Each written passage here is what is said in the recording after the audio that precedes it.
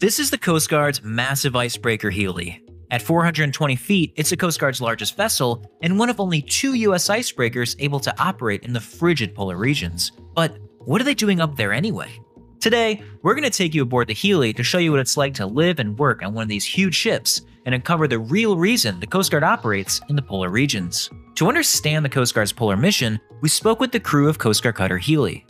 Supporting Arctic research is the Healy's primary mission. We were specifically designed in cooperation with the National Science Foundation to conduct research in that region. To get researchers to these remote locations, the Healy can break ice up to 8.5 feet thick using the power from its enormous diesel electric plant. Four powerful diesel engines produce an impressive 46,000 horsepower. This energy is converted into electricity to drive the Healy's electric motors, which spin its two massive 16 foot propellers and thrust the Healy forward to smash through walls of ice. But all of that would be impossible without the Healy's specially designed bow, which does a couple interesting things. The hull itself is constructed so that there is an ice belt that's about an inch and a half to two inches thick and make sure that as we are impacting the ice, we're not deforming the ship. The bow also has this reinforced pointy area called the ice knife. That is essentially a stronger point of impact, purposely built to, as we're impacting the ice, open it up. But even though the Healy is built to break ice, the crew actually tries to avoid ice when possible. When determining what route to take, our deck watch officers and ice pilots are trained to analyze all the conditions, and they do that by utilizing all the resources they have available to them. First, the deck watch officer is positioned up here in the aloft conn, which gives them a better view of their surroundings. They also have access to satellite imagery, forecasting, and radar.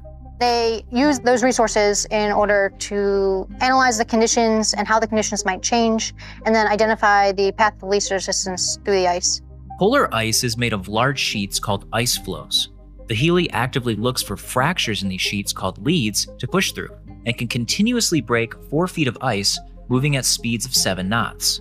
But if the ice is too thick, they need a different approach. And at that point, our ice pilots have to switch to backing and ramming. The Healy will back up and, using its speed and weight, move forward to ram into the ice floe to break up to 8.5 feet thick ice. You don't want to impact the ice at the same point which you've impacted it previously, so we typically try to impact it at a different angle, and then we use that momentum to try and make our way through the ice. Other icebreakers, like the Polar Star, break ice in a different way. Their spoon shaped hull lifts them on top of the ice to crush it beneath its incredible weight. Once the Healy is in the Arctic, the science begins. We uh, provide access, reliable access to researchers with uh, the large amount of laboratory space on board and the ability to bring up to 50 scientists from uh, around the world. Our diversity and uh, reliability makes Healy a capable platform. The Healy has more than 4,200 square feet of scientific space, including multiple laboratories and high capacity cranes to deploy heavy equipment. In 2023, the Healy deployed in support of two scientific missions, one in support of the Office of Naval Research. The second mission we did was in support of the Nansen and Amundsen Basin Observation System. That water sampling looked at understanding how the water flowing in from the Atlantic Ocean is changing the ice cap and how that can impact the climate in the rest of the world. But Arctic research comes with some unique risks like polar bears. The Healy uses trained crew members who keep a vigilant watch for any signs of polar bear activity to allow the crew to safely return to the ship before the bear arrives at the research site. And sometimes that happens, like this polar bear who tried his paws at using some of the researchers' equipment. Or this one who gave the crew a distant yoga lesson. To get up to these remote locations, the Healy has an endurance of about 60 days and can hold nearly 1.5 million gallons of diesel. That's the equivalent of three Olympic sized swimming pools. But what's life like on these long patrols?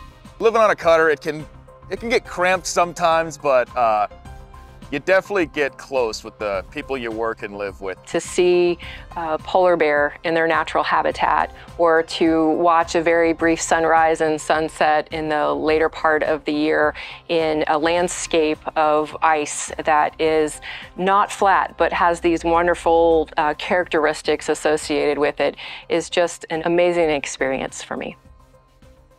To house upwards of 137 people, the Healy is built like a floating city. It's complete with the Coast Guard's largest floating medical facility, a gym, a store, and of course, berthing areas to relax and sleep. But outside the ship, the crew must endure the frigid polar temperatures, so they have access to warm uniform items unique to anywhere else in the Coast Guard. The amenities found on the Healy are a far cry from icebreaking's humble beginnings. The Coast Guard can trace its icebreaking roots all the way back to the 1800s with the 200 foot steam powered cutter Bear, which was legendary for its work off the Alaskan coast. One of the Bear's commanding officers was none other than Cutter Healy's namesake, Captain Michael A. Healy, the first African American man to command a U.S. government ship. Throughout the next 40 years, the Coast Guard continued to develop its new icebreaking technology, but it wasn't until the 1940s when the service commissioned its first true polar icebreakers, the Wind class. Built during World War II, these cutters gained prominence for their performance in polar ice conditions. In 1944, Coast Guard cutter Eastwind assisted in the capture of the last German weather station in Greenland. And after the war, the Wind class cutters went on to enable some of the first U.S. Antarctic research expeditions. The Coast Guard eventually replaced the Wind class with two new heavy icebreakers in 1976 the Polar Star and the Polar Sea. Of the two, only the Polar Star is currently in active commission. Its crew is tasked with a yearly voyage down to Antarctica to clear ice up to 21 feet thick for the research community McMurdo Station. But the newest polar icebreaker in the US is, of course, Coast Guard Cutter Healy, commissioned in 1999. To be a part of the history of the United States Coast Guard operating in the Arctic region is uh, a long standing proud opportunity of the United States Coast Guard to operate in the Arctic Ocean. In recent years, the Coast Guard has been racing towards the development of a new fleet of polar icebreakers, set to be named the Polar Security Cutters. These ships are more vital than ever before because the polar regions are changing. This is what ice looked like in 1979, and here's what it looked like only a few years ago.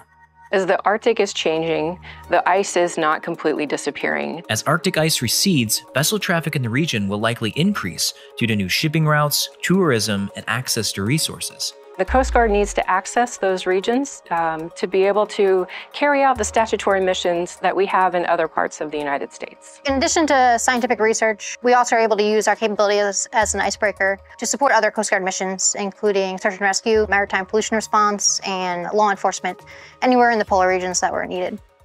But it's not just about the safety of life at sea and protecting the environment. Other nations are building up their own fleets of ice capable vessels and the Coast Guard's polar icebreakers are essential to protecting American interests in this geopolitically complex region. It's important that the Coast Guard maintain presence in the region to, to cooperate with those nations who have a like minded vision of an international rules based order where we respect the sovereignty and cooperate for a global understanding of how the Arctic um, and its resources can benefit the globe. During this last patrol, Healy participated in at sea exercises with Canada, Norway, Denmark, and Iceland. Through these exercises, we built uh, our interoperability and strengthened our partnerships with these like minded nations. The Coast Guard's polar icebreakers are an engineering marvel, and as we can see, breaking ice is only one part of their overall mission. As the polar regions change, the Coast Guard will need to change too. Looking forward, I have every confidence that the Coast Guard is ready to continue polar operations through the Polar Security Program and through other Arctic surface capabilities as we look to the future generations of how the Coast Guard will lead in the U.S. Arctic.